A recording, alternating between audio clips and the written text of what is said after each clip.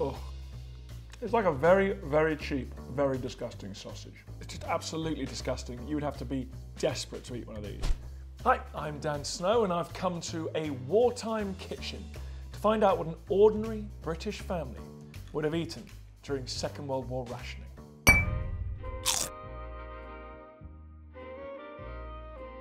The UK had too many people and not enough food. Britain had been a big importer of food before the Second World War, and as war broke out, the British government became scared that German submarines would sink all those ships carrying food to Britain, the British people would starve, and Britain would have to surrender.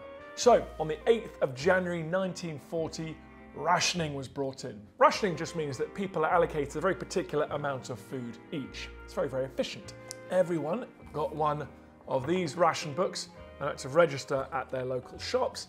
Then shopkeepers were supplied with just the right amount of food for everyone registered on their books. Ration books had a sort of coupon system so people could only purchase what they were allotted and no more. A weekly ration was an egg, two ounces of butter, two ounces of tea, an ounce of cheese, eight ounces of sugar, four ounces of bacon, and four ounces of margarine.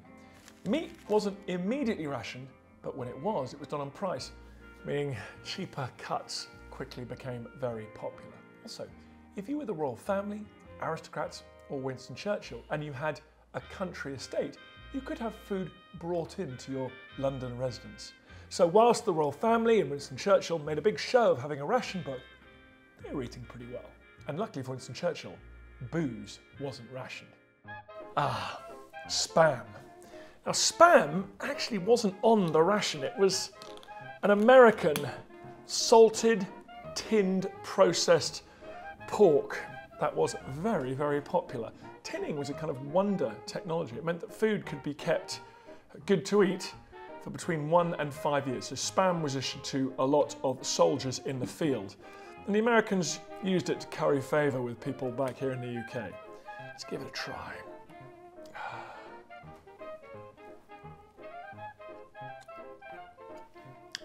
It's like a very, very cheap, very disgusting sausage. But frankly, in a world where meat is rationed, this stuff would have tasted pretty good. Bread and powdered eggs. What a treat. Right. There was actually a ban on white bread during the Second World War. Something called the National Loaf was brought in. Bakers got together and worked out how to use wholemeal flour to produce a standardised loaf. So here you go, nice brown loaf. All right, I'm gonna have some powdered eggs. Eggs were rationed, so by July 1942, powdered eggs became available. Thank you to the good old USA. What you do is you dry out an egg, and then you smash it to bits. Then you keep it, and it will last for years and years. The allowance was one tin of dried eggs every two months. Now, one tin was about the same as 12 fresh eggs. So 12 fresh eggs every two months. I'm gonna go crazy and have it all in one go. Had to add water to this egg mixture to turn it back into something approaching egg. It was one tablespoon of dried egg, two tablespoons of water. If you live near the countryside and live to some hens, lucky you, you give up your egg ration and exchange it for other foods. Doesn't taste that much like eggs, to be honest. So tasteless. The Ministry of Food was desperate to get people cooking with dried eggs. Dried eggs, they insisted, were just as good as fresh eggs and should be used in the same way. They're very useful for main dishes. That's propaganda, that is. Aha, butter, my favourite bit of bread and butter. But of course, this isn't butter. There's a war on. Hitler doesn't let you have nice things. This is dripping. It's the rendered fat that drops off a piece of beef. Now, I think my dad must have Stockholm Syndrome because he still talks about the dripping he remembers from his childhood with great affection. Let's see what it's like. It's disgusting. It tastes like rendered fat that's dropped off a piece of beef. Now, when it's hot, as you'll know from your baking tray, it's like a clear liquid. But at room temperature, it congeals, it solidifies, it tastes like a bit of plasticky plasticine.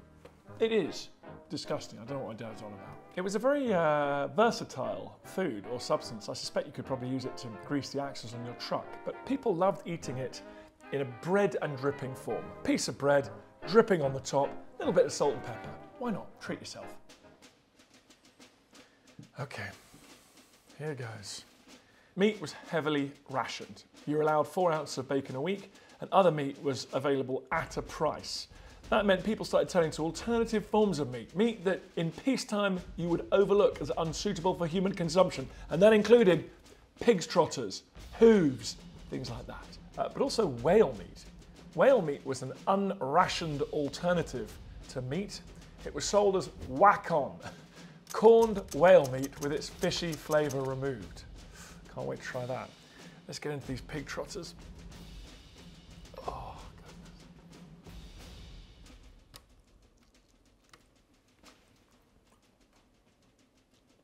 I mean, it's just absolutely disgusting. You would have to be desperate, desperate to eat one of these. There still seems to be mud from the farmyard caught in this trotter here. I'm not sure about this.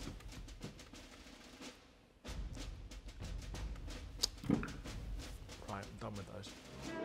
One thing that was readily available during those wartime years was vegetables. You'll be glad to hear. These were not rationed. They became a mainstay during the war. People were expected and encouraged to grow vegetables wherever they could. The expression dig for victory was a popular catchphrase. There was a huge rise in the number of allotments all over the UK. This is a fake apricot flan. It's in fact made from carrot. I mean, carrots grew like weeds in the UK. I've got carrots everywhere. Turnips, there's plenty of those. So this mock apricot flan was cleverly designed to fool you into eating it when it was in fact carrots smeared with jam.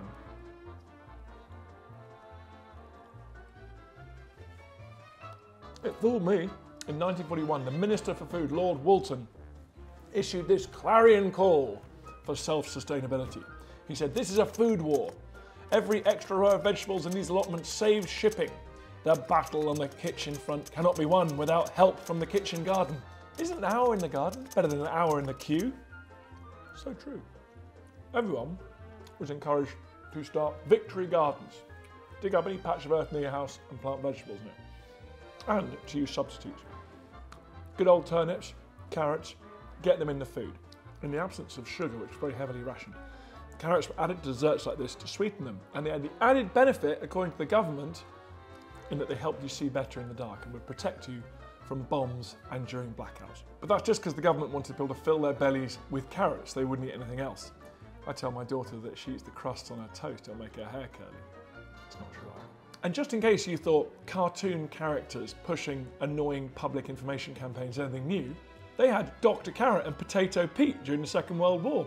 Cartoon characters to get people to eat more vegetables as they were plentiful and cheap. Thanks for joining me, folks. If you've enjoyed watching, please click on any of the videos on this screen for more delicious content.